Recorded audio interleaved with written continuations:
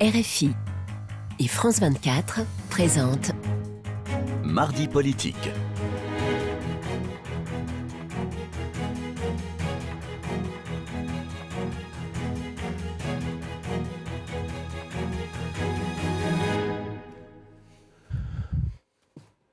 C'est l'heure de mardi politique sur France 24 RFI. Bonsoir Frédéric Rivière. Bonsoir Rosine, bonsoir à tous. Et ensemble nous recevons Olivier Marlex. Bonsoir. Bonsoir. Vous êtes euh, président du groupe Les Républicains à l'Assemblée nationale. Merci d'avoir accepté notre invitation. Alors Emmanuel Macron a prévenu qu'il euh, voulait s'attaquer à la réforme des retraites euh, qui pourrait être votée avant la fin de l'année. Arrive aussi le budget 2023 discuté à l'Assemblée à l'automne. Est-ce que les républicains seront les alliés d'Emmanuel Macron? Sur le fond de la réforme des, retraites, euh, on n'a pas de vraies difficultés parce que la réforme euh, proposée, c'est globalement celle que nous avons mise sur la table quand en, 2018, le président de la République avait inventé une réforme euh, assez incompréhensible à laquelle d'ailleurs il a, dû renoncer. une fois qu'on a dit ça, une réforme des retraites, ça suppose quand même, parce que ça chamboule la vie de beaucoup de nos compatriotes, ça suppose quand même un minimum de, concertation avec euh, euh, les organisations syndicales, notamment parce que voilà, il y a plein de, paramètres qui, qui, bougent.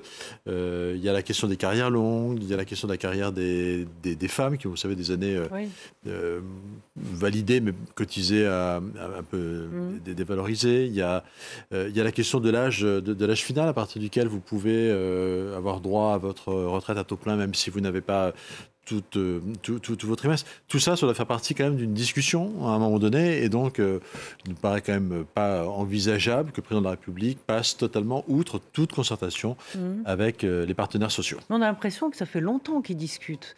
Non, mais il a discuté d'une réforme il y, a, il, y a, il, y a, trois ans. il avait confié ça à M. Delevoye, vous vous en souvenez peut-être, qui est parti, qui est disparu avec sa réforme, qui était un système invraisemblable. Il, il a dû lui-même renoncer. Mais là, sur le nouveau projet, qui qui est un projet qui avec une idée d'une recul de, la limite d'âge à 64 euh, ans, 65 ans. On ne sait pas exactement ce qu'est la feuille de route du gouvernement. Vous, idéalement, ce serait quoi pour vous? Si on veut, il ne faut pas perdre de vue ce qui est le but ultime d'une réforme des retraites. Ce n'est pas une réforme idéologique, pas pour faire plaisir, ce n'est pas pour faire plaisir au marché financier qu'on doit faire une réforme des retraites, c'est pour revaloriser euh, durablement les retraites dans, notre pays. Aujourd'hui, le système il est déficitaire, sur, il est tout, juste à l'équilibre cette année, mais enfin, mmh. euh, structurellement plutôt déficitaire. Donc si on veut être capable de, de, revaloriser les retraites durablement, il faut faire cette réforme des retraites. Moi, je pense qu'il faut se contenter d'un 64 ans dans un premier temps, en y allant de 3 mois par, 3 euh, mois par année. Euh, voilà, mais il y a plein d'autres paramètres à prendre en compte. Et donc, ça, on n'a jamais fait de réforme. Sans toucher la durée de cotisation? Bah, c'est soit l'âge, soit, le nombre de trimestres. Mais tout ça crée euh, des, effets de bord, si je puis dire, euh, faut, dont il faut discuter avec, euh, avec les, partenaires sociaux. On n'a jamais fait de réforme des retraites dans notre pays, même quand, la Sarkozy en a fait une en 2010 pendant la, la, crise, il y a eu une feuille de route qui a été connue, quand même, qui, a été connue dix mois, dix mois avant. Non, mais il y a toujours une, une une part de négociation. Ce serait assez incompréhensible que le président de la République, la semaine dernière, installe à grande pompe le CNR, euh, Conseil national de la refondation, en disant euh, le président jupitérien c'est terminé, on va discuter de tout. Et trois jours après, euh, déjà tout oublié, il décide tiens, je vais faire passer ça subrepticement dans une loi de financement de la sécurité sociale, en un article, et puis ça ira bien. Alors, je crois que les comptes sont à l'équilibre en fait pour les retraites pour 2021 et, et, même assez largement excédentaires en fait pour 2022. Mais en effet, le Conseil d'orientation prévoit que le système sera déficitaire dès 2023 et en moyenne sur les 25 prochaines années. Mais dans le même temps, euh, ce Conseil d'orientation de retraite souligne euh, que ces travaux, et je vais citer, ne valident pas le bien fondé des discours qui mettent en avant l'idée qu'une dynamique non contrôlée euh, des dépenses de retraite serait à l'œuvre. dans ce cas de figure, d'où vient le problème? Est-ce que ce n'est qu'un problème démographique finalement? Non, mais je ne suis pas spécialiste euh, absolu des, des, des, retraites. Mais ce qui est certain. Je bien admettre que la question est un peu technique. Ce qui, non, ce qui, ce, qui, ce qui, est juste, c'est qu'en réalité, la France a des déficits beaucoup plus importants. Euh, du déficit budget de l'État, euh, chaque année, on reprend 100 milliards, donc ça, ça dérange personne, visiblement. Euh, M. Macron en parle beaucoup moins, il, s'apprête à nous présenter une loi de finances avec encore 115 milliards, et il n'y a pas le moindre mm. déficit, il n'y a pas le moindre effort, visiblement, d'économie sur la dépense publique. Donc effectivement, il faut, on peut relativiser ce, déficit qui était avant la crise Covid d'environ 6 milliards par an de, de mémoire. Donc c'est finalement assez relatif. Le, vrai sujet, c'est que si on veut, aujourd'hui on a un problème quand même de, niveau des pensions dans, notre pays, et si on veut pouvoir améliorer ce niveau des pensions, il faut... Euh, il faut faire une réforme de retraite. Il y a pas une pression européenne aussi, une pression de la Commission européenne pour que cette réforme soit faite Oui, il y, a sans doute une, une, pression, surtout des marchés financiers d'ailleurs. Hein. Hum. Euh, la, France est aujourd'hui dans une situation euh, critique euh, sur, sa, sur sa dette et il faut envoyer des signaux aux marchés financiers. Et la retraite et la réforme des retraites est symboliquement, voilà, tout ça entre sans doute en, en, jeu dans le calendrier du président de la République qui se rend compte, je pense, quand même que la situation financière du pays est, est inquiétante. Voilà. Mais une fois encore, ça me paraît quand même difficilement envisageable de faire une réforme des retraites sans un minimum de concertation avec les partenaires sociaux, parce qu'il y a beaucoup de paramètres à prendre en compte. Est-ce qu'il il aura quand même, est-ce que ce gouvernement aura le soutien des, républicains a priori. Une fois encore, il sait, je ne peux pas donner la réponse avant qu'il ait commencé à même de connaître le, projet du gouvernement. vous, de toute façon, vous ah. dites qu'il faut travailler plus. Alors, alors qu'il est, on ne le connaît pas. Oui, mais une fois encore, il y a des façons et façons de, faire les choses. Nous, on ne sera pas, euh, ne sera pas quelle que soit la, manière. La, manière, elle, compte. Il y aura un calendrier. C'est quoi Vous savez, il y a un âge. Aujourd'hui, on est à 62 ans, mais il y a derrière l'âge qui aujourd'hui à 67 ans, à partir duquel on peut toucher sa retraite à taux plein euh, euh, sans, sans, décote. ce sera, même si on n'a pas les trimestres, pardon, ce sera quoi cet âge? Il sera repoussé à combien? 69 ans? 70 ans? Enfin, vous voyez, c'est quand même des sujets extrêmement importants. Donc, on ne peut pas se prononcer non plus euh, sans que tout ça ait été discuté. Alors, vous dites qu'il ne faut pas aller trop vite, mais il est de coutume de dire qu'une une réforme des retraites, une réforme comme ça, se fait en début de quinquennat. Sinon, on l'a vu, il n'a pas pu le faire bah, euh, au, précédent quinquennat. Mais il aurait dû le faire au début du précédent quinquennat, bien sûr. C'est-à-dire que ça se fait à un moment où on bénéficie, on bénéficie d'une confiance. Cette confiance, aujourd'hui, je pense que le président, malheureusement, euh, n'a pas bien su la renouveler parce que euh, l'élection présidentielle n'a pas été l'objet de sa part d'une campagne au cours de laquelle il a pu vraiment expliquer son projet aux Français, où il a suscité, euh, où il aurait suscité une adhésion. Il n'y a, pas tout ça. Donc effectivement, aujourd'hui, nous avons un président de la République qui part euh, en étant, je crois, assez faible. D'ailleurs, les élections législatives qui ont suivi ont montré à quel point euh, il n'avait pas de, majorité dans le, dans le, dans, dans, le pays. Donc tout ça appelle quand même. Je ne dis pas qu'il faut, qu'il faut prendre une éternité, mais je dis que il faut à un moment que les orientations soient précisément posées sur la table et qu'il y ait un minimum de, de, de, concertation avec les partenaires sociaux. Euh, à propos de concertation, les Républicains, comme d'ailleurs tous les autres groupes d'opposition, ont refusé de discuter euh, du projet de budget 2023, ce que Gabriel Attal avait proposé sous le nom d'entretien de, Bercy. Euh, donc le 49.3 est sur la table, et c'est même aujourd'hui le scénario le plus probable pour faire adopter ce texte. Est-ce que vous seriez prêt à vous associer à d'autres groupes d'opposition pour voter une motion de censure? Sur le budget, ce que nous avons euh, dit au, gouvernement, c'est qu'on voulait qu'il y, ait un, un débat devant le Parlement. On regrette d'ailleurs le gouvernement a un peu escamoté en réalité le temps parlementaire. Hein. Il, a, il, a, retardé d'une semaine la présentation du budget. Donc les, entretiens de Bercy étaient que une façon de communiquer euh, autour d'une concertation, mais la concertation, c'est au Parlement qu'elle doit se faire. Euh, or, ce temps a été, a, mm. été. Le 49.3, il est prévu dans notre, dans notre Constitution dans les hypothèses où il n'y a pas de majorité, où le gouvernement a besoin de faire passer un texte. Bon, moi je prends acte de la situation politique, il n'y a pas de majorité, une majorité très relative, mais il n'y a pas non plus de majorité alternative euh, à celle, à celle d'Emmanuel Macron. Donc s'il faut user du 49.3, ce n'est pas un problème euh, insurmontable pour nous. Euh, simplement, on ne veut pas que ce soit le prétexte à euh, l'absence de, débat. Donc on a demandé au gouvernement ce, que le, ce qui est le cas échéant, il engage deux fois sa responsabilité. Vous savez que la loi de finances, elle se discute en deux temps, une première partie, une deuxième partie, et qui est deux votes, et peut-être qu'il engage deux fois sa, responsabilité. Après, là encore, on verra ce qu'il y a dans la discussion. Il faut qu'il y ait une discussion.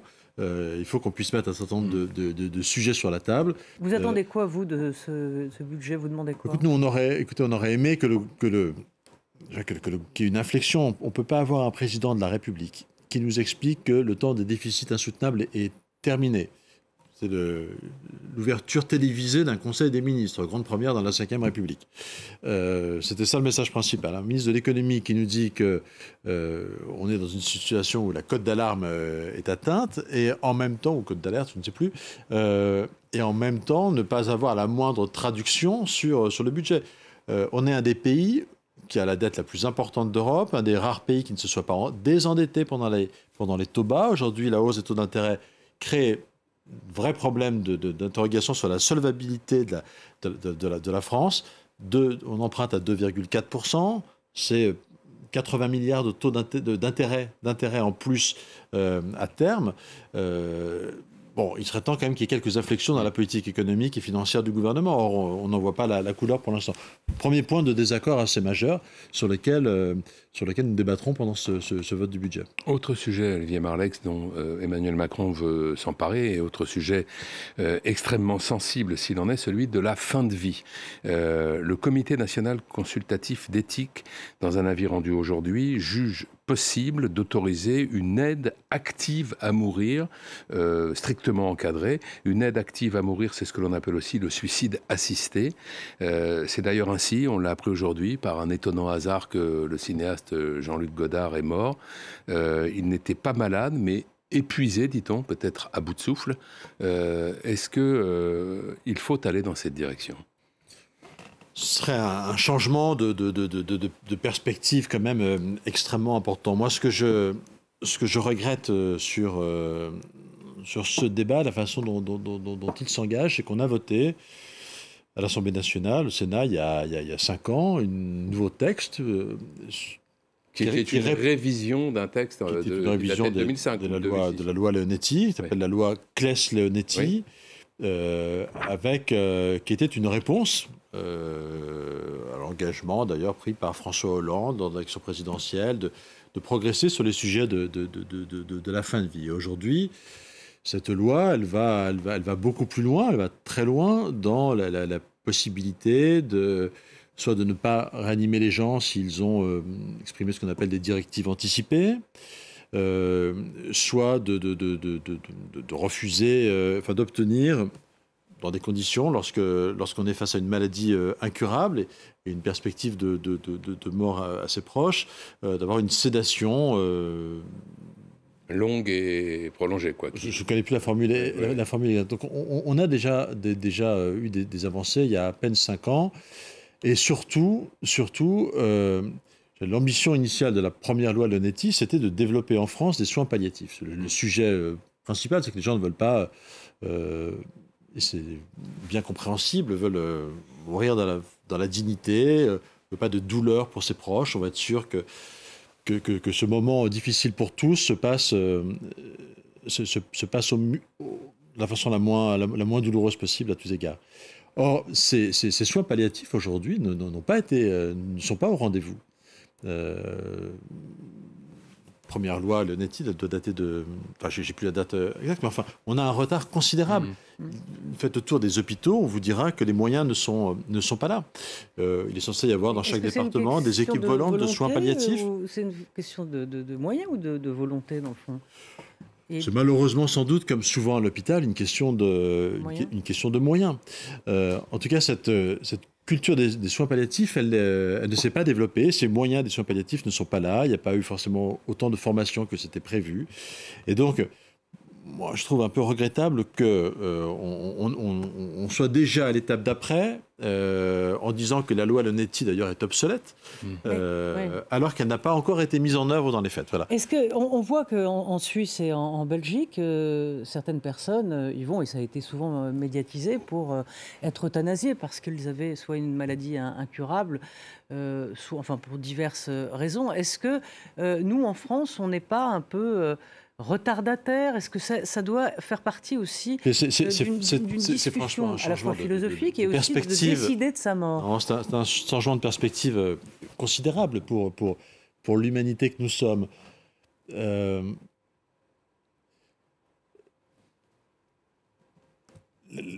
enfin, décider, puisque là, ce, qui, ce, qui, serait nouveau, on ne sait pas d'ailleurs sur quel modèle on s'arrête, que le président de la République est assez insaisissable sur ce sujet avant les élections. enfin, il a dit que c'était un sujet compliqué. Non, non, mais il dit, pardon, il a dit une chose et son contraire. Euh, juste avant l'élection présidentielle, il a dit, il a fait savoir que ce qui l'intéressait, c'était le modèle belge. Donc le modèle belge, c'est quoi? C'est euh, c'est l'euthanasie, euh, et notamment une euthanasie aussi des mineurs, ce qui à titre personnel me pose un, un vrai problème. Euh, et puis là, récemment, il a dit, je crois qu'il a pas plus tard qu'hier soir, euh, à la presse euh, politique parlementaire qu'il invitait, que non, non, finalement, son modèle n'était pas le modèle belge. Voilà. et j'ai cru comprendre qu'en tout état de cause, il rejetait le, le, modèle suisse que vous évoquez, qui est celle du suicide assisté. Hmm. Donc de quoi on parle au final? Finalement, on en revient de plus en plus à quelque chose qui ressemble à la mise en œuvre de la loi, de la loi Mais est-ce que c'est savoir ce qu'il pense dans le fond, euh, pas très important Est-ce que c'est un sujet qui doit être soumis, par exemple, à, je pense que un référendum une... on, est, on, est, sur des sujets extrêmement compliqués. Vous n'allez quand même pas annoncer aux Français qu'on va faire un référendum alors qu'on ne sait même pas de quoi on parle. Mmh. Moi, j'aurais aimé, c'est ce qui manque le plus. Non, mais l'idée qu'à la fin des discussions, puisqu'il annonce une convention citoyenne qui devrait durer six mois, est-ce qu'à la fin, euh, une fois que les, scientifiques, euh, toutes sortes de personnalités auront discuté et qu'il en sera sorti quelque chose, est-ce que, ça, c'est une bonne idée de le soumettre à un référendum Ce sont des choix de société euh, extrêmement, extrêmement importants. Le sujet, c'est est-ce qu'on considère je vous rappelle qu'on a, on a supprimé la peine de mort en 1980. Est-ce qu'on considère aujourd'hui que dans l'humanité, on accepte que des hommes ou des femmes le donnent, donnent, la mort à d'autres hommes et femmes? C'est de ça dont, dont il s'agit.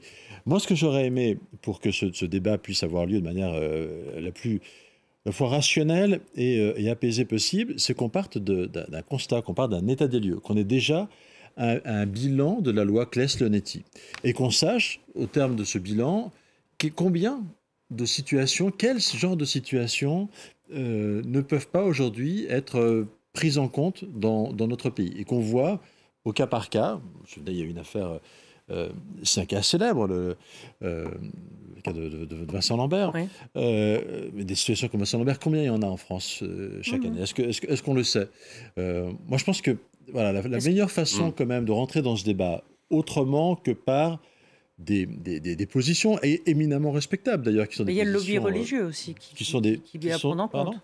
Il y a le lobby euh, religieux. Le lobby religieux, en l'occurrence, c'est plutôt le, le, le, le, lobby, le lobby rationaliste qui met le sujet sur la table. Euh, donc, oui, il y a des lobbies de, de, de, toutes sortes, mais euh, que justement, la meilleure façon d'éviter c'est peut-être ce jeu des lobbies, c'est de, documenter au maximum pour dépassionner ce, ce, ce, sujet. Personne, évidemment, ne peut supporter euh, la question de, la, hmm. de voir euh, ses proches, siens partir dans la, dans, la, dans la souffrance.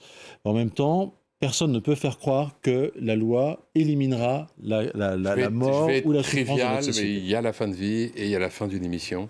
Et nous y sommes. Voilà. Merci, il faut le dire. Merci euh, beaucoup à vous, Olivier Marlex, d'avoir accepté notre, invitation, notre invitation. Et merci à Charlotte Rien Tomaca et à Camille Néran et à toute l'équipe technique pour avoir préparé cette émission. Merci.